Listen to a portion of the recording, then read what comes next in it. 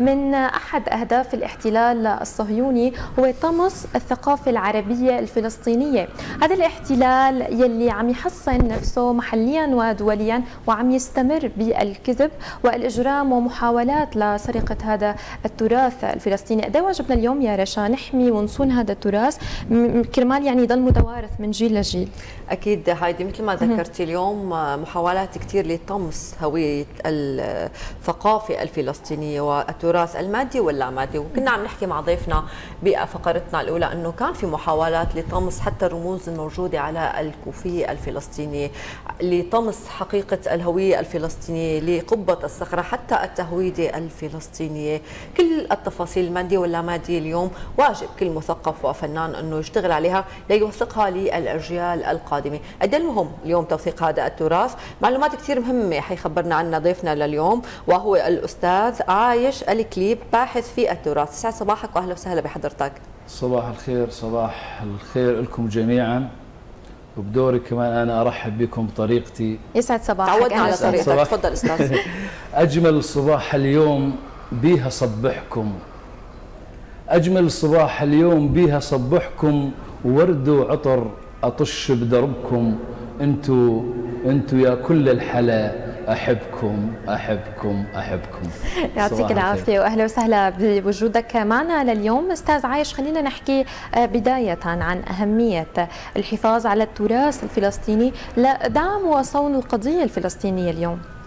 طبعا التراث هو بالعموم يعني إذا يجينا كتعريف. هو ما ورثه الأجداد للأبناء. ومن هذا المنطلق نرى أن التراث يجب الحفاظ عليه لأنه يشكل هوية أي بلد أي شعب. هو التراث يشكل هويته ويعتبر التراث هو أساس. لأن في قاعدة تقول بلد بدون تراث هو لا شيء. صحيح.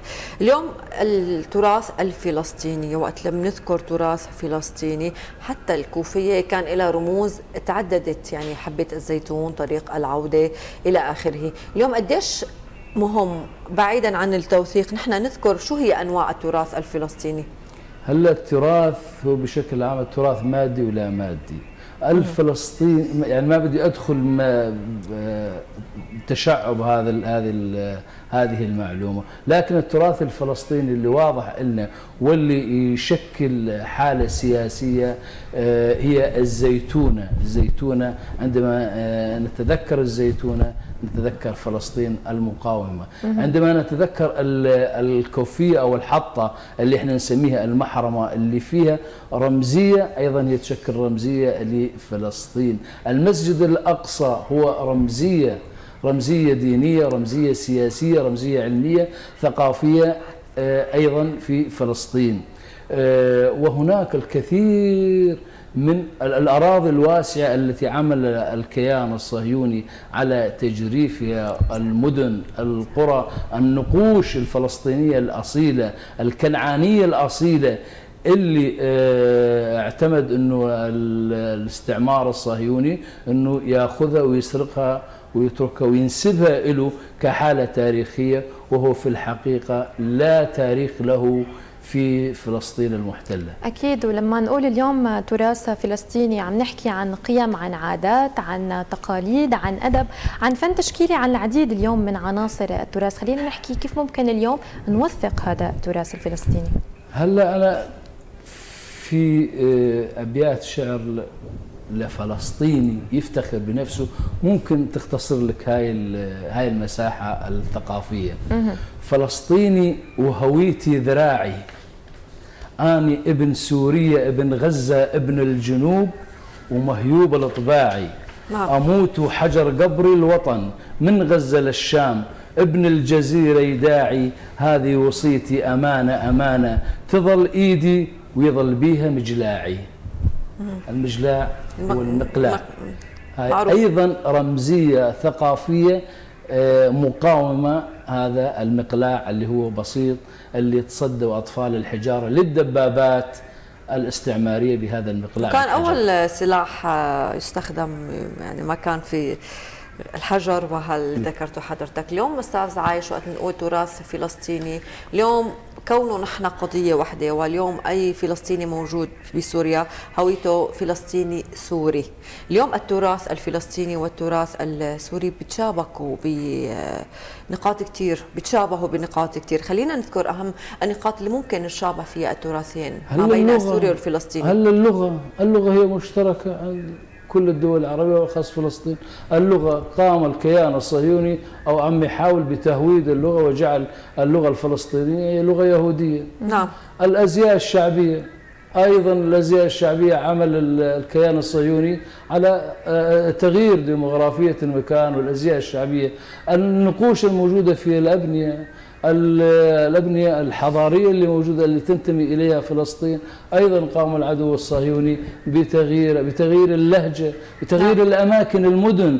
تسميات أطلق عليها تسميات هي مو تسمية مو التسميات الحقيقية أطلق عليها تسميات عبريا صحيح. حاول يدخل لغته العبرية في كل شيء ويدخل سياسته وثقافته أيضا في الحالة الاجتماعية اليومية الفلسطينيين. أكيد. خلينا لسه نسمع شعرة من حضرتك اليوم. أريد أصيح بصوت يعبر حدود الموت. مو لجل قاع ما تنبت شجر مو لجل ماي ما ينبع بحر لجل جولاننا المطروحة لجل فلسطيننا المجروحة لجل السلم والحمام لجل الوطن. وأهل الوطن لأجل كل واحد يصفق للسلام. سلام خلينا نسمع شيء كمان. كأن الفلسطيني لما يضرب بالحجر يعني لي شيء فأنا أقول أرد أقول له كبر يا ثائر وبقاعك تبسمر. زلمنا الما تحاب الذبح تضحك ساعة المنحر. يموت منا الطفل وشهيدة تتمدد على المعبر. بس يظل اسمك يا وطن. عالي عالي بعلو السماء وأكثر. عالي بعلو السماء وأكثر. هل هي دنيا بهاي لمتنا؟ جنود الوطن إحنا والشمس من طلعتنا. الكل قاع نصير شراع. اثريا وسهيل رايتنا. الوطن علمنا اثنين عادة. نصر لو لا نفديه بشهادة. ما علمنا نبصم على ورق. والحرية بحلوقنا قلادة علمنا نبشر العاجر بتوم. العاجر اللي ما تجيب ولاد علمنا نبشر العاجر بتوم وتهلهل الحبابة ومناجرنا ترن للدوم لجل عيون أم العصابة لجل تلميذ مدرسة سورية. خط اسمه أبو باسل بول كتابه. الله. يعطيك العافية. خلينا أستاذ عايش نحكي عن أهمية التراث الفلسطيني الشفهي وانتقاله من جيل لجيل. قدر فلسطين أن تكون مقاومة. قدرها أن تكون مقاومة. فكان الأساس هي شحن الهمم من خلال الهوسات الفلسطينية اللي تتشابه عندنا إحنا بسوريا. فانتقلت من جيل إلى جيل مع بعض التطوير. مثل عندنا إحنا لما بدنا نشحن همم آه، الجماعة أقول واقف عندي نعم. ويشوف شارب العنز القطوف من عاوني نفعني خير عندي من الوقوف. تندبني وان المندوب تندب عبيد الطاها بارود ثم أعطاها. هاي هوسات تشحن الهمم.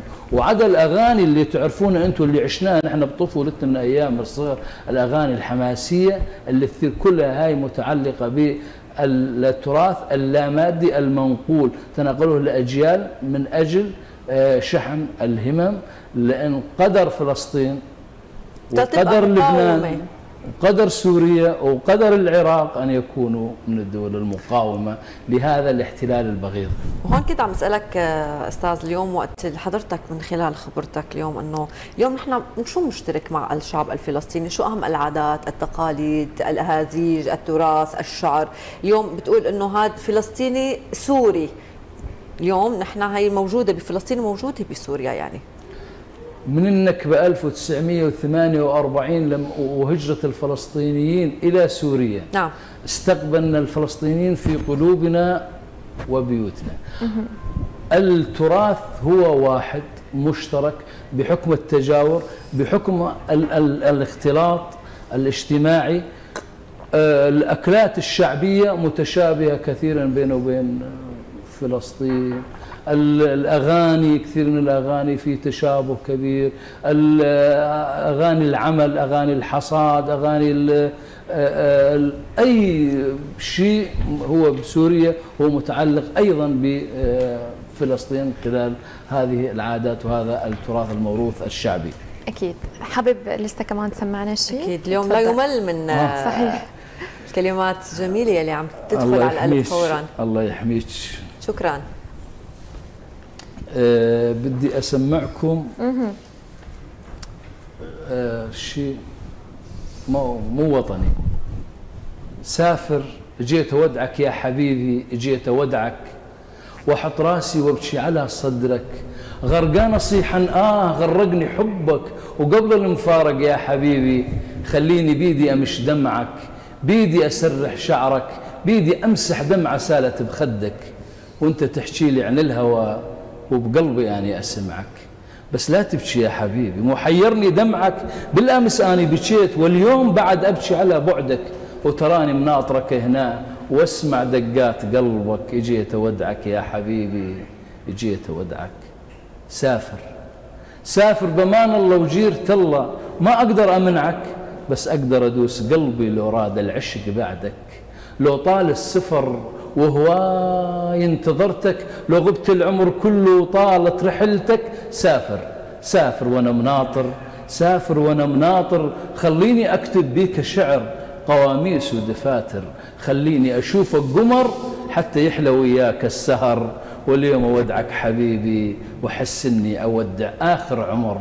سافر وأنا مناطر سافر وأنا مناطر.